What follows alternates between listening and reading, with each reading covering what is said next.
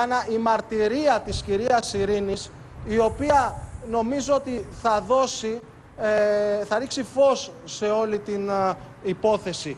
Θέλω λίγο να μου περιγράψετε την πρώτη στιγμή. Ε, εκείνη την ώρα κλείνατε την επιχείρησή σας. Και τι έγινε; Καλησπέρα κυρία Τατιάνα. Καλησπέρα σας.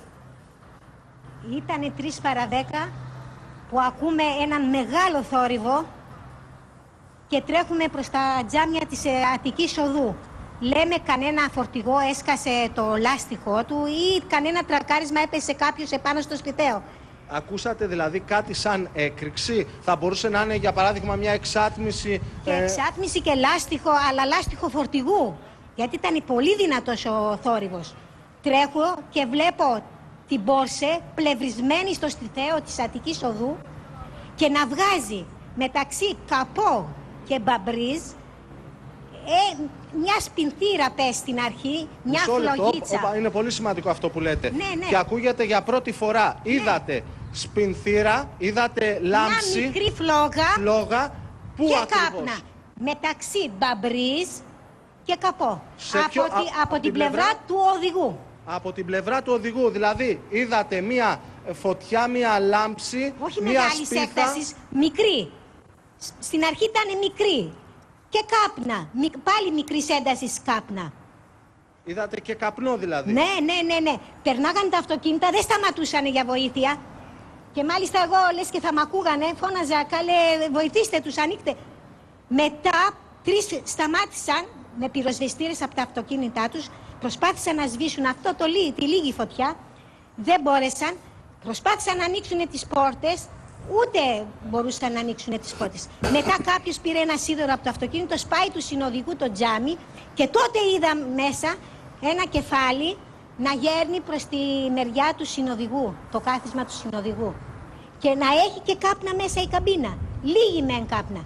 Με το που έσπασαν όλο όμως το τζάμι, μπήκε το οξυγόνο μάλλον και μεγάλωσε η δύναμη της φωτιάς. Και άρχισε να φουντώνει, φουντώνει η φωτιά.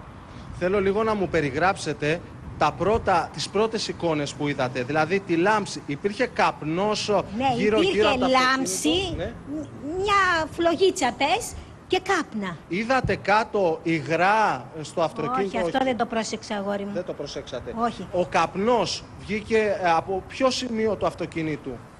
Στη μεριά του οδηγού μεταξύ μπαμπρής και... Έβγαινε από εκεί καπνός ή κάτω από το αυτοκίνητο. Εγώ το είδα από πάνω να βγαίνει. Από πάνω πρώτα. Δεν κοίταγα κάτω. Άμα έβλεπα κάτω, δεν κοίταγα κάτω, θα βλέπα και τα υγρά που λέτε.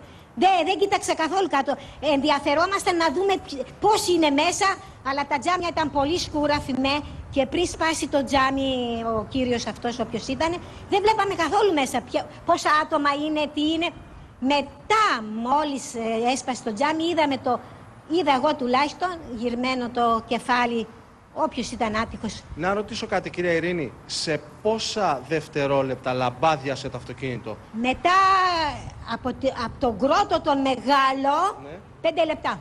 Μέσα σε πέντε λεπτά λαμπάδιασε όλο το Ναι, αυτοκίνητο. μετά που άνοιξαν το τζάμι, μετά από 2-3-4 δευτερόλεπτα άρχισε από το μπροστινό σύστημα του Πόρσε και μετά συνέχεια πήγαινε και πίσω. Και έγινε όλο, όλο λαμπάδα και κεγότανε. Και άκουγον, ακουγόντουσαν και εκρήξεις, μικροεκρήξεις στα λάστιχα. Μετά τα λάστιχα κάηκαν και είδαμε και τα λάστιχα να καίγονται.